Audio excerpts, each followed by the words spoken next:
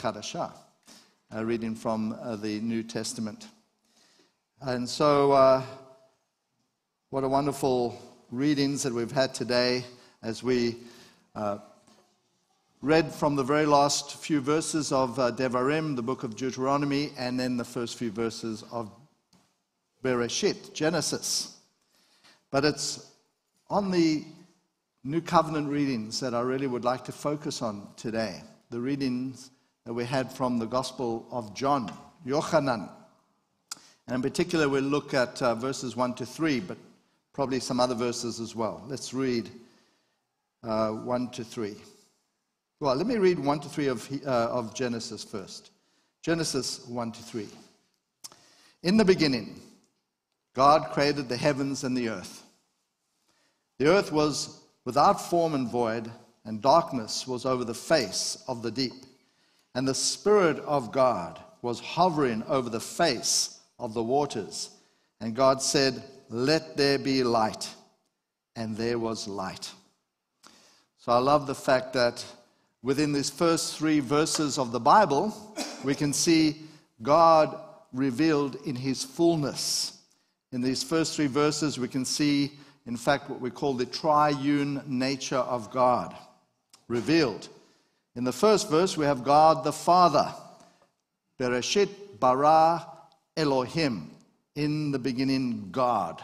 In the beginning, God.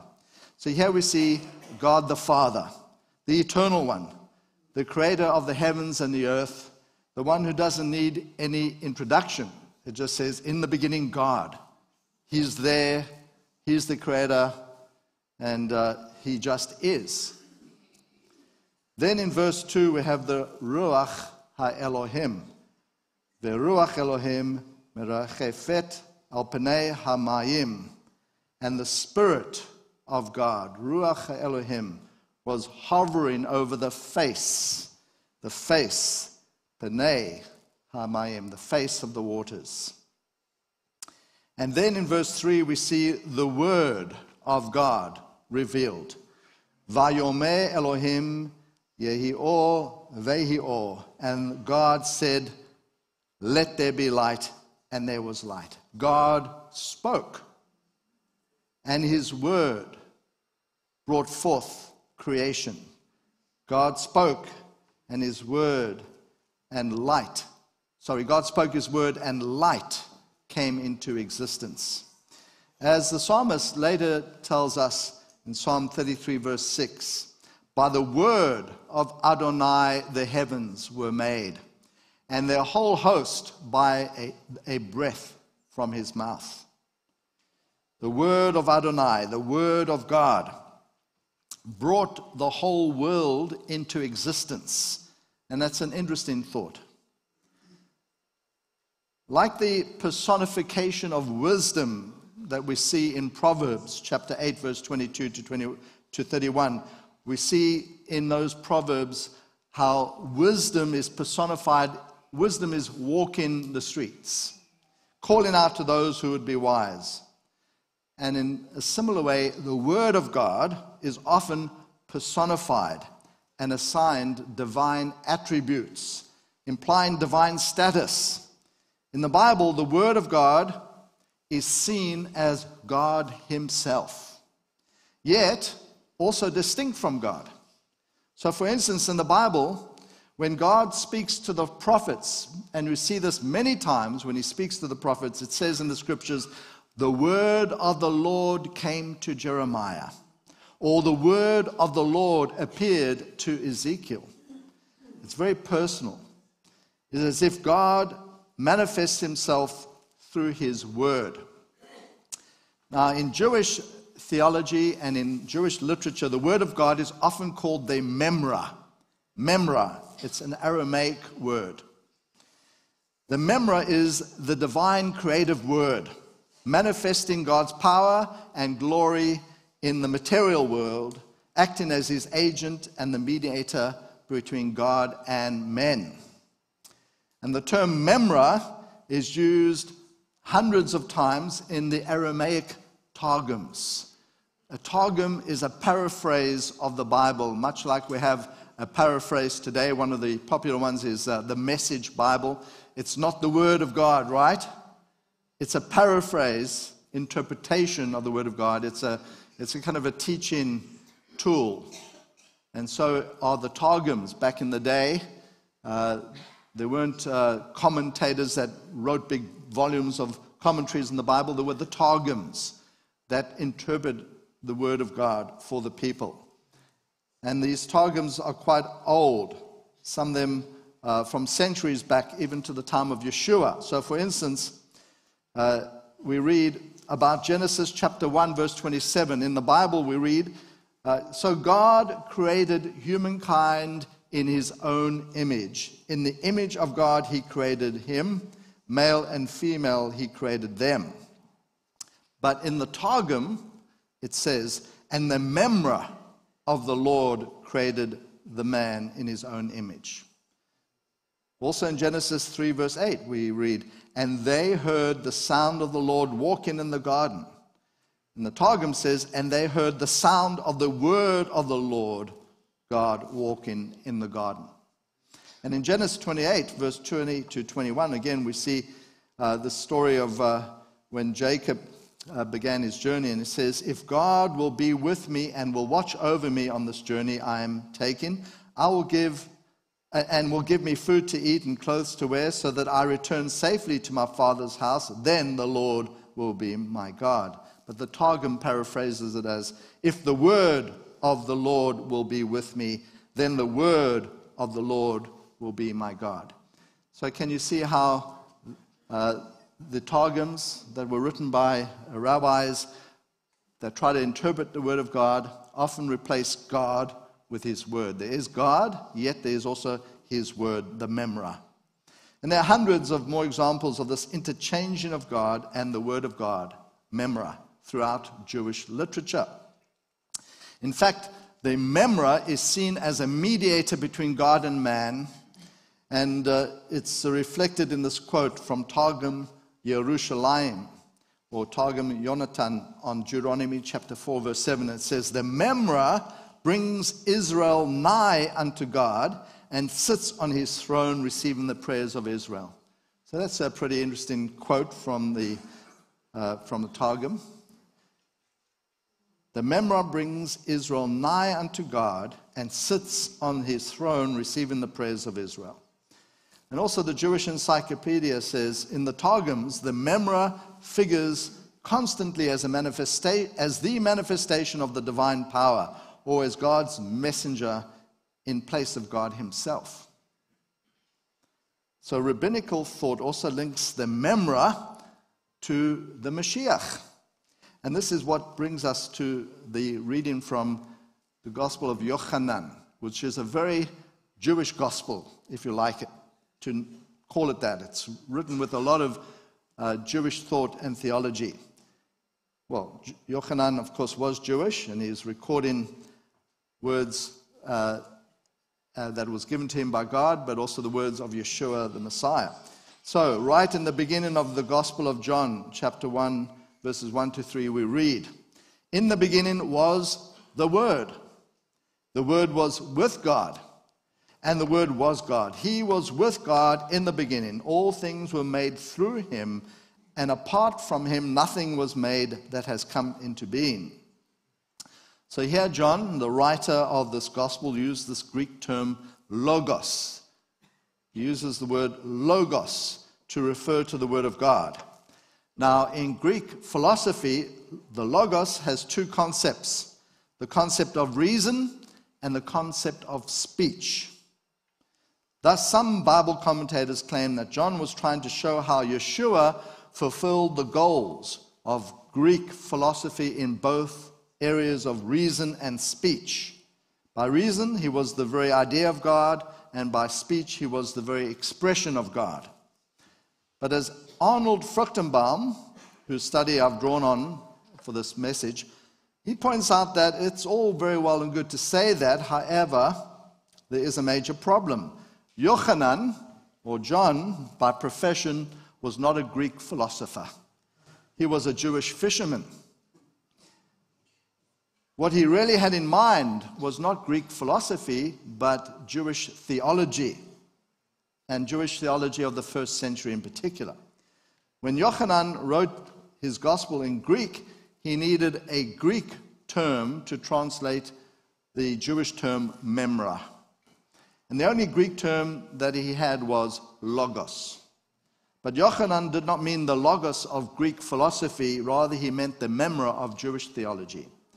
The writings of the rabbis of the day taught that there were six special uh, actions that were true about the memra, six special teachings about the Word of God. First of all, they said that the memra was sometimes the same as God, but sometimes it was distinct from God. The same, but distinct from God. The rabbis never tried to explain this, uh, and it seems like an obvious paradox. How was it possible for the memra on the one hand to be the same as God, but on the other hand, distinct from God? They simply taught that both statements are true. And it's left there. This is the same thing in the Gospel of John, chapter 1, verse 1. In the beginning was the Word. So the Word of God was pre eternal, as God Himself was. The Word was with God, and the Word was God. So the Word was with God, meaning He was distinct from God, but the Word was also with God, uh, was God, meaning He is God. By stating the Word was with God, it means Yeshua was distinct from God by saying the word was God, it means Yeshua was the same as God. Like the rabbis, at this point, Yochanan did not try to explain away the obvious paradox. How is it possible for the Word to be the same as God, yet be distinct from God? And this is the mystery of the triune nature of God. That is uh, further explained in the Gospel of John. The Logos is distinct from God in that he is not God the Father, nor is he God the Ruach HaKodesh, the Holy Spirit, but he is the same as God in that he is the second person of this triunity. He is God the Son and therefore the same as God. Only in the terms of the triunity can the rabbinic paradox of the memra in Jewish theology be explained. Second, they teach that the the memra was also the agent of salvation. Sorry, the agent of creation. The agent of creation. Everything God created, He created by means of His memra, by means of His word. So without the memra, nothing would exist, would exist that now exists. So in John chapter 1, verse 3, we read, All things were made through Him, and apart from Him, nothing was made that has come into being. What is true of the Memra in Jewish theology is true of the Logos of whom John wrote. Everything was made through him, and without him, nothing was made that has been made. And so, without him, nothing would exist that now exists. He is the agent of creation. Thirdly, the rabbis taught about the Memra was that the Memra was the agent of salvation. Whenever God saved throughout human history in the Tanakh, whether it was a physical salvation, such as the exodus of Egypt, or this, a spiritual salvation, God always saved by means of his memra, by his word. Therefore, John chapter 1, verse 12 says, But whoever did receive him, those trusting in his name, to these he gave the right to become the children of God. As with the Memra in Jewish theology, so with the Logos of John. He is the agent of salvation. Those who personally believe in his messiahship and receive him as Savior are the ones who become children of God and receive spiritual salvation from him, the agent of salvation. And then the fourth thing that rabbis taught about the Memra was that the Memra was the agent or the means by which God became visible throughout the pages of the Tanakh. In theology, this phenomenon is called a theophany. It's a Greek word, theophany, an appearance of God. A theophany is the visible manifestation of God that occurred throughout history, and we see it a number of times throughout the Tanakh.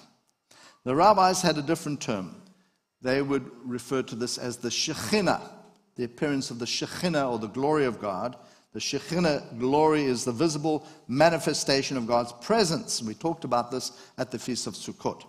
Whenever the invisible God took on visible form, whether it, uh, whether, whenever the omnipresence of God became localized, when God, who is everywhere, became somewhere at one moment, throughout most of the Tanakh, it was the Shekhinah that took on form of perhaps light or cloud or some combination of these things.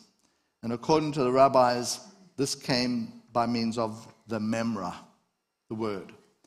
And then again in John chapter 1, verse 14, we read, And the word became flesh, and he tabernacled amongst us. We looked upon his glory, the glory of the one and only from the Father, full of grace and truth. The word that is in verse 1 was in the beginning with God, always was with God, and always was God. But at a certain point of human history, he took on visible form. But this time he did not come in the form of light or fire or cloud, rather, he came in the form of flesh. He was incarnated in flesh. He became human. He became a man. And Yeshua, as a man, was the visible manifestation of God's presence. He was 100% man and 100% God. This is why the book of Hebrews tells us the Son is the radiance of his glory and the imprint of his being. Yeshua was the Shekhinah, glory of God. He was the visible manifestation of God's presence. He is the source of light he is the source of life for all men because he is the creator of all men. And then we also see that the Memra was the agent of revelation. And I've already mentioned this. Whenever God revealed himself, he always did so by means of his Memra or his word who appeared to the prophets or even to Moses and throughout the scriptures. And so in John chapter 1, verse 18, we read, No one has ever seen God but the one and only God in the Father's embrace has made him known. Yeshua came for the purpose of revealing the Father to men. As Yeshua said to Philip's question, Show us the Father. One of the disciples said, Show us the Father. And this is what Yeshua said Have I been with you for so long a time and you haven't come to know me, Philip? He who has seen me has seen the Father. How can you say, Show us the Father? Everything that is true of the divine nature of the Father is also true of the divine nature of the Son. Because of his very nature, he revealed the Father fully. And then finally, the sixth and last thing the rabbis taught about the Memra was that the Memra was a means by which God signed and sealed his covenants. In the Tanakh, there actually are eight covenants three with the world in general, and five with Israel in particular. His covenants, whether they were made with the world in general or with Israel in particular, were signed and sealed by means of the Memra, by means of his word. The sixth point doesn't come out as clearly in the Gospel of John, but is hinted at in verse 17. Torah was given through Moses, grace and truth came through Yeshua the Messiah. It is through Yeshua that the Brit Chadashah, this new covenant between God and Israel, and then later between God and also anyone from any of the nations, it was through Yeshua that this covenant came into effect and was sealed. It was through Yeshua shedding his blood on the cross that he sealed a new covenant and his grace extended to all peoples. All covenants had to be sealed with blood. And so Yeshua needed to shed his blood to seal a covenant. Just as the law was given to Israel and sealed by the manifestation of the Shekhinah of God on the Mount Sinai, so now Yeshua, the glory of God, the Shekhinah of God made flesh, seals the new covenant. Yochanan shows us that Yeshua came for the purpose of fulfilling all Jewish messianic hope.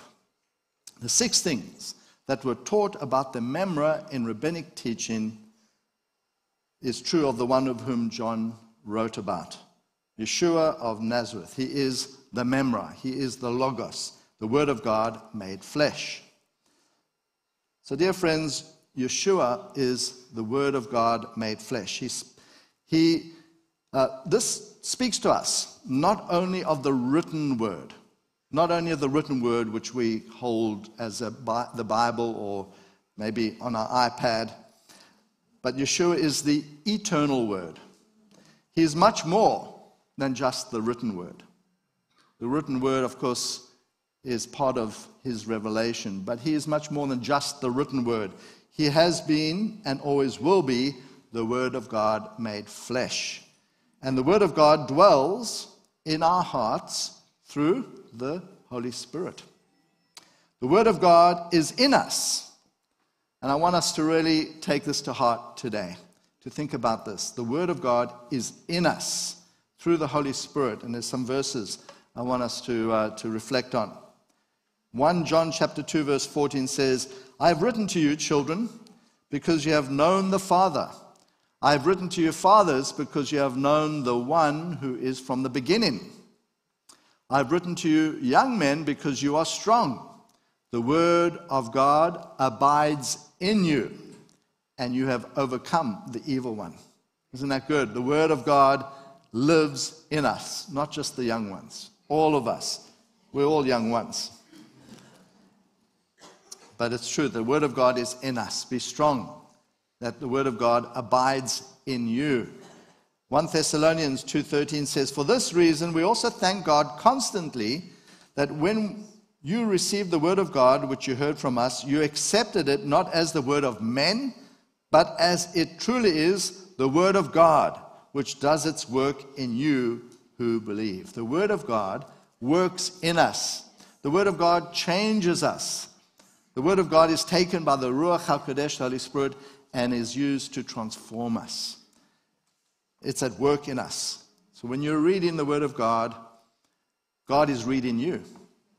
Actually, when you're studying the Word of God, God is actually studying you. You can't put God on the table and study Him. Maybe theologians think they can do that in seminaries or universities, but God is studying us all the time. The Word of God works in us who believe.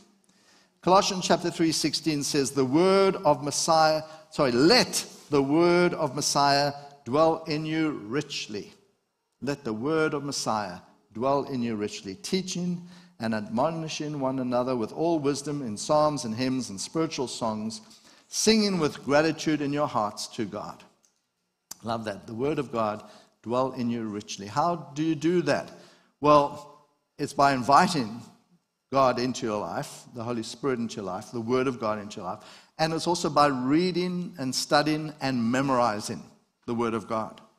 Memorize the Word of God. You're never too young to memorize the Word of God, and you're never too old to memorize the Word of God.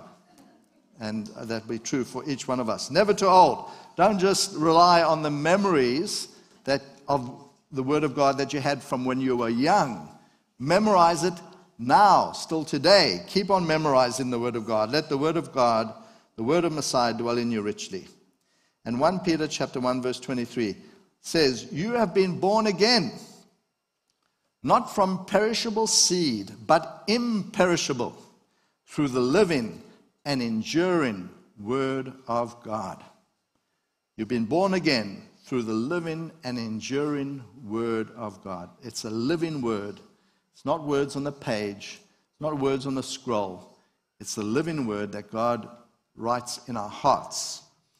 And it's the enduring word. It will live forever. The grass fades and the flower fails, but the word of the Lord stands forever. This prophet Isaiah tell, tells us. So that's why we can rejoice at Simchat Torah. Yeshua is the very Word of God made flesh. It's not right to say that He is the Torah made flesh. Some people say that. He's much more than just the Torah made flesh. Some people like to use that at this time, say Yeshua is the Torah of God made flesh. Well, He's more than the Torah of God. He's the very Word of God, the entire Word of God. And He is still the very Word of God. Not all of it was written down, He's much more that we don't have. But that is what lives in us through His power and through His Holy Spirit.